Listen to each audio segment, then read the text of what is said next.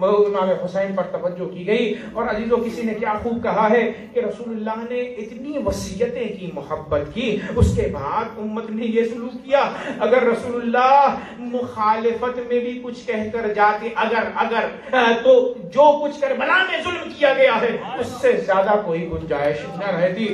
ग्रामी रसूलुल्लाह के अकवाल को, कुरान के अकवाल को बाला ताक उम्मत मुसलमान ने रखा।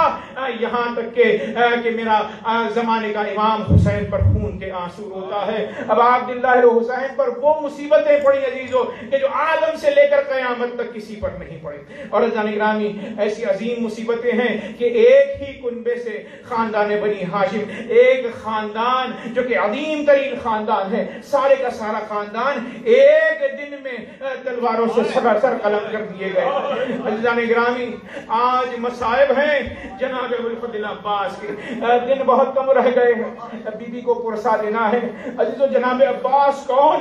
जनाब अब्बास वो है कि जो सकीना की ढारस है। कहना, कौन अब्बास? वो अब्बास के जो सक्का सकीना है। कौन है अब्बास? वो अब्बास है ये। कि जो तमन्नाए अली इब्न अबी तालिब है। एक मर्तबा अकील से कहा उनदुर इमरातन कद वल्लदत हुल मिन अल अरब लितलिद ली गुलामन फारिसा। कि मेरे लिए एक ऐसा कबीला देखो कि जिसमें मैं शादी करूँ और अल्लाह मुझे एक गुलाम फारिस, यानी जंगजू जवान अता करे जो करबला के मैदान में मेरे हुसैन के काम आए अजान ग्रामी जनाब अकील नसब शनास से फातिमा के ला दिया। का तारुफ हुआ, विलादत हुई जनाब अबुल अब्बास की। अजीजो जैसे ही हुसैन की विलादत हुई थी तो रसूलुल्लाह रोए थे।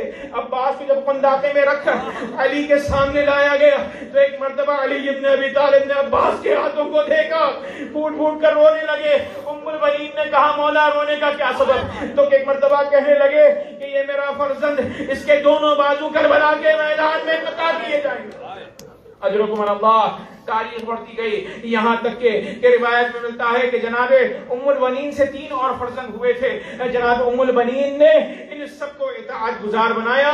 इमाम हुसैन सलाम का हमदम खिदमत हुसैन में जब जनाब अबुल फजल अब्बास रहते थे। यहाँ तक के रिवायत कहती है कि शब इक्कीस रमज़ान मुबारक आई। हुसैन के हवाले अब्बास को दिया सबको वसीयतें कर चुके। और एक मरतबा जनाबे अब्बास को अली ने कहा कि बेटा अब्बास मेरे करीब आना। और जैसे ही करीब आए तो एक वसीयत की। फरमाया इलाका न योम आशुरा ए मेरे दिल बन ए मेरे फर्जन जब आशुरे का दिन आए वह दखल तल मशरुआ और जब तुम फुरात में दाखिल हो जाओ या खबरदार अब्बास पानी ना पीना इस हाल में कि मेरा हुसैन प्यासा हो अजला निगरानी ये वसीयत की। जनाब अब्बास ने वसीयत को याद रखा। वक्त गुजरता गया। यहाँ तक के रिवायत ये कहती है कि जैसे ही शब आशूर नमूदार हुई तो जनाब अब्बास अलम्बरदार है ना? तो एक मरतबा सारे खैमों का जायजा ले रहे थे। खंडक को खोदा पीछे, ताकि पीछे से दुश्मन हमला न करें। एक मरतबा जुहैर ने, जब गुफ्तु साथ चल रहे थे, दोनों घोड़े दौड़ा रहे थे तो एक मरतबा जुहैर कैन ने जनाब अब्बास से कहा अब्बास, जानते हो ना कि तुम्हारी खिलकत का क्या मकसद है? है? तो कहा अब्बास ने त्योड़ी चढ़ाकर कि क्या कहना चाहते हो? बस मैं याद दिलाना चाहता हूँ कि हुसैन के लिए इमाम अली ने तुझे मुहैया किया था। आपको अल्लाह से मांगा था कल पूरी वफादारी का सबूत दिखाना। अजीजा ने ये जुमला सुनना था कि हैदर करार के शेर को जला लाया ऐसे अंगड़ाई ली कि घोड़े की टापे टूटी। एक मरतबा मेरे मौला ने कहा कि, ऐ जुहैर मुझे जोश दिलाता है। कल सुबह को होने दे। मैं बतलाऊँगा कि हुसैन के लिए किस तरह से जिहाद किया जाता है। अजीजा ने गिरामी, जैसे सुबह आशूर हुई, रावी ये कहता है कि अलम्बरदार हुसैन के लश्कर का कमांडर कोई नहीं था। सिवाय अबुल फजल अब्बास के। अजीजो वक्त गुजरता गया, हुसैन के साथ रहे, यहाँ तक के जब सारा लश्कर इस कमांडर का अलम्बरदार का शहीद हो चुका तो हाथों को बाँध कर मौला के पास आए। और आने के बाद कहा, मौला जंग की इजाज़त दे दीजिए। तो एक मरतबा मेरे मौला ने अब्बास को सबसे पैर तक देखा। देखने के बाद कहा, अरे, तुम तो मेरे लश्कर के अलमदार हो। मैं अलमदार को इजाज़त कैसे दे सकता हूँ? बीवियों की ढारस ढारस तुमसे वाबस्ता है अब्बास। तो अब्बास ने मौला से उजर रखते हुए कहा कि, अरे आका मैं वही जाना चाहता हूँ। अलमदार वही जाना चाहता है, जिसका लश्कर जहाँ चला गया है। मेरे मौला ने कहा, अब्बास, फिरा खुदा हाफिजी करना बड़ा सख्त है। कैसे खुदा हाफिजी करोगे जैनब से? सकीना से? अच्छा जाओ, सकीना बड़ी प्यासी है। अल्लाह अल्लाह की खैमों से आवाज़ आ रही है। पानी ले आओ थोड़ा सा अजीजा निगरानी जैसे ही हुक्म हुआ, मौला आए अब्बास, रावी ये कहता है कि उस खैमे में गए कि जहाँ पर मशकीजाएँ रखी थी। अजीजो, जैसे ही अब्बास वारिद हुए, अजीब मंजर मौला ने देखा। अब्बास मौला ने क्या देखा? देखा कि जनाब सकीना और बेबियाँ मशकों को लिपटी हुई है। कहती है, हाय प्यास हाय प्यास अब्बास से रहा न गया। सकीना के पास गए। कहा है सकीना, चचा तुम्हारे लिए पानी लाएगा। ये मशीजा मुझे दे दो। सकीना ने बड़े ही इतमान के साथ मशीजे को दिया। अली को ये मशकीजा देना और अब्बास का लेना और अलम के साथ इस मशीजे का लगना, मुझे पता नहीं किस खुलूस के साथ था कि आज तक के जहाज़ तक जहाँ जहाँ अलम अब्बास है वहाँ वहाँ मशक सकीना नज़र आता है। अब अजनान ग्रामी अब्बास से मशकीजाएँ उठाई और एक मरतबा जैसे ही चले शायद बीबी ने सब बच्चों को जमा किया हो और कहा हो कि जान लो, मेरा चचा वो है कि जो मुदी है इतात गुजार है, वफादार है। अब जब इसने कहा कि पानी आएगा तो पानी आकर रहेगा। सारे बच्चे मंजर देख रहे हैं, हुसैन मंजर देख रहे हैं, अब्बास हैदर का शेर जैसे ही मख्तल में वारिद हुआ सुकूफ ने रास्ता देना शुरू किया। लेकिन जब लोगों ने यह देखा कि अब्बास पहुँच रहे हैं फुरात की जाने तो अरबाब मख्तल लिखते हैं कि चार हज़ार या दस हज़ार का लश्कर था सबने हमला करना शुरू किया, अब्बास ने हमला किया सुकूफ तोड़ते गए और उसके बाद आगे बढ़ते गए। रावी ये कहता है कि अस्सी लोगों को वासिल जहन्नम यको तनहा अब्बास ने किया, जो खुद तीन दिन के भूखे प्यासे हैं। अब जाने रानी फुरात में गए और फिर उसके बाद मशकीजे को बड़े इतमान के साथ भरा। मौला की वसीयत आई कि अब्बास, पानी न पीना। तो पानी को न पिया वफा पूरी की अली के साथ, और फिर उसके बाद अब जो घोड़े को मोड़ा तो हमारे साथ ने ये कहा कि अगर ये पानी हुसैन तक पहुँच गया तो कयामत आ जाएगी।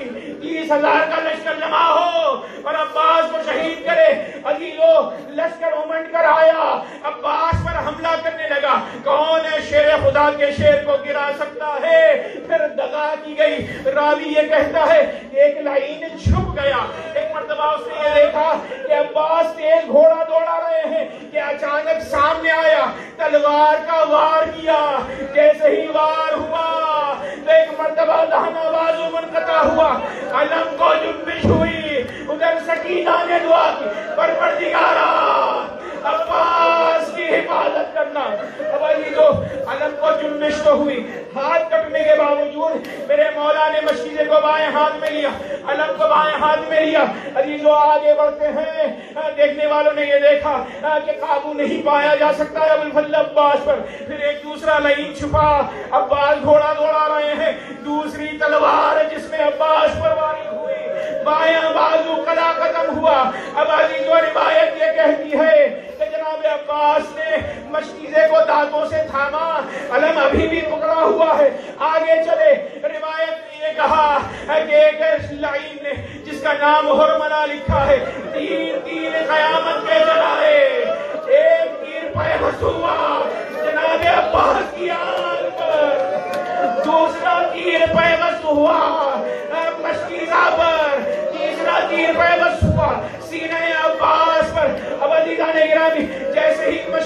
छिड़ा दो खून की नहरों के दरमियान। मशकीजा सकीना से पानी बहने लगा।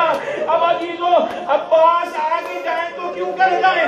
पानी तो बह चुका है घोड़े को मोड़ दिया अभी तो शुजात का आलम यह है कि रावी ये कहता है जो सामने आता अब्बास उसे ठोकर मारते वो वासिल जहन्नम होता दोनों हाथ नहीं थे मेरे मौला के एक मरतबा एक लाइन सामने आया गुर्ज हाथ में था कहा अब्बास मुझ पर हमला करो कहा अब आए हो जब मेरे हाथ नहीं उसने गुर्ज उठाया सरे अब्बास पर बोला जिसके बाद अब्बास घोड़े पर झूमने लगे ज़मीन करबला पर आए कहा सलाम गया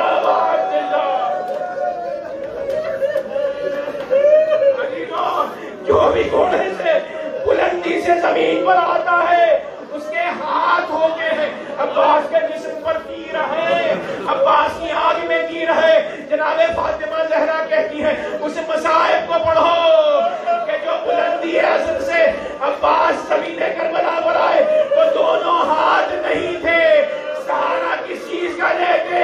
जैसे ही के बल मेरे मौला अब्बास ज़मीन पर गिरे, सारे तीर जिस्म में बेबस हो गए। अब इस तरफ़ हुसैन ने कहा अलान इनका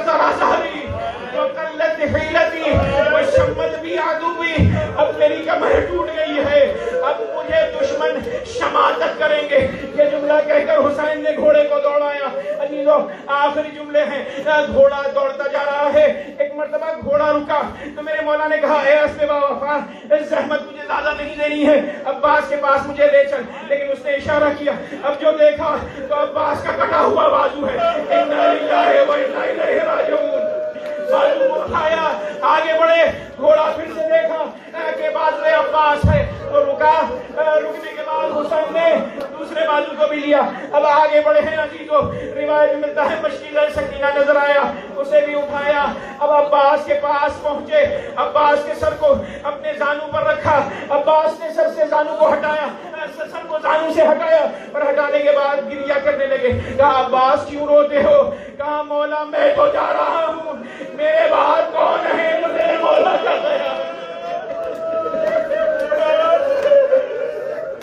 इतनी कुर्बानियों के बाद भी मौला हुसैन का ख्याल।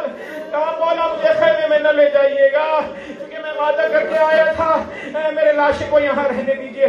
और अजीजो, एक रिवायत के मुताबिक मौला ने कहा, आपको जहमत होगी कि मेरे लाशे को ले जाएँ।